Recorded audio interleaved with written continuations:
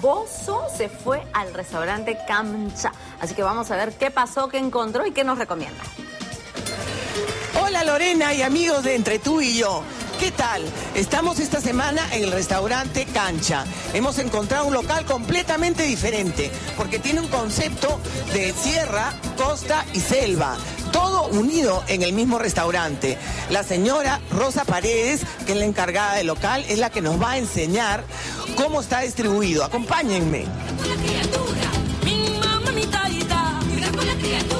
Rosita, ¿cómo estás? Hola Susana, bienvenida. Bueno, tenemos aquí una barra de molientes, haciendo honor al emoliente que está en todo lugar del Perú. Tenemos un salón mercado, porque es donde nace la comida peruana.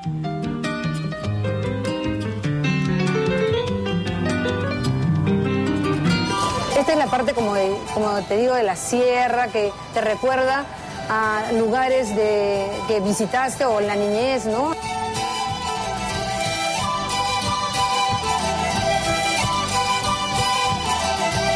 ¿Y esta zona de acá? También es otro privado, igualmente, como ves, te recuerda un poco a nuestra selva, que tenemos la parte florida, y el cuadro que tenemos hacia el fondo, que tiene el Juane que estás desatando, ¿no?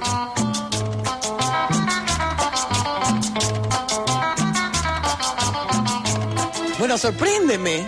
Ah, bueno, mira, eh, nosotros estamos inaugurando nuestra nueva carta el 13 de julio, pero hemos preparado para ti un plato representativo de cada región. Tenemos de la costa el seco de canilla. Aquí en cancha las opciones de las carnes hechas en vacío por horas muy prolongadas, de tal manera que te permite eh, disfrutar de una carne que no, no se expone a temperaturas altas y guarda todas sus condiciones organolépticas. De la sierra tenemos el cuy, ¡Ay, qué rico! el cuy lo presentamos, eh, es una doble cocción, tiene una cocción al vacío y también está frito en profundo. Acompaña un picante de papa y me faltaría de qué, de la selva, ¿no? Ah, de la selva. Aquí tengo eh, este plato que es un ceviche de charapita. ¿Qué charapita? Charapita es un ají aromático, el más aromático de la zona, que es muy eh, cítrico y que complementa muy bien el plato. Tiene cocona, que es una fruta neutra. Estos son uno de los platos representativos, pero tenemos muchos más. Sí, amigos, y conmigo es hasta la próxima semana.